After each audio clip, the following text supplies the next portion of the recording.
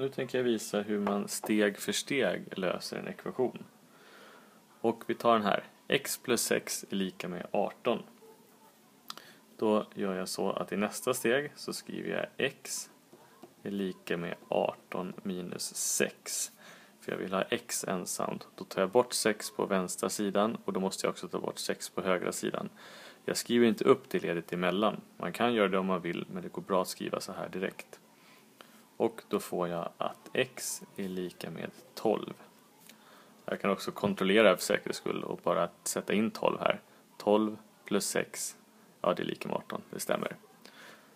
Eh, ett annat sätt som man ibland kanske löser de här ekvationerna på men som inte är riktigt korrekt sätt att skriva det är att man gör så här. Man ser kanske ganska nästan på en gång vad det ska bli. x plus x lika med 18 och så skriver man bara 18 minus 6 är lika med 12. Ja, det gör oss ju att x är lika med 12.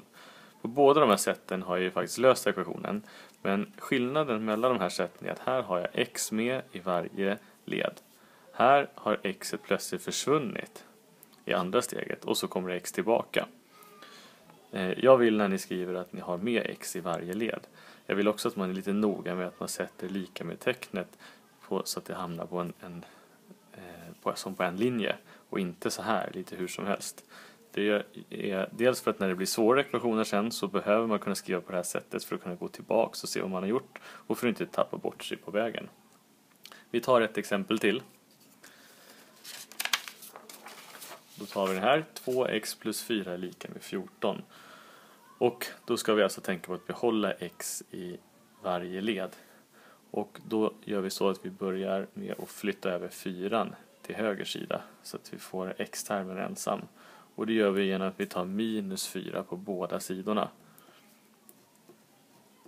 Nu skriver jag inte ut minus 4 där för jag ser att de tar, de tar ut varandra om vi har minus 4 och plus 4. Vill man skriver man det som ett extra led. Annars går det bra att skriva så här direkt. Då vet vi att 2x är lika med 10. För att få x ensamt så dividerar vi med 2 på båda leden. Viktigt att vi gör samma på båda sidorna. Och det vi har kvar då är ju x eftersom tvåorna tar ut varandra. Och 10 delat med 2 är 5. Det gör så att x är lika med 5. Jag ska visa det alternativa sättet som jag vet att en del av er löser det med och som jag vill att vi försöker jobba bort. 2x plus 4 är lika med 14. Vi börjar med samma. Eh, och då vet jag att många gör så att man tänker bara 14 minus 4 är lika med 10. Och så skriver man upp det man tänker här. Och så tänker man så här, jaha, men det var ju eh, 2x var då 10, men då delar jag 10 med 2.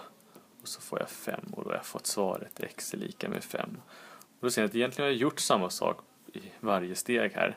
Men här är x försvunna och sen kommer x plötsligt tillbaka. Och jag vill att x finns med i varje led som är här. Och eh, för att öva lite mer på det här så kan ni jobba med de sidorna jag har skrivit under det här filmklippet. Om ni scrollar ner så ser ni sidhänvisningar till boken. Där finns också en länk till lösningar som jag har gjort. Så titta inte bara i facit utan titta på mina lösningar, att ni har gjort dem korrekt.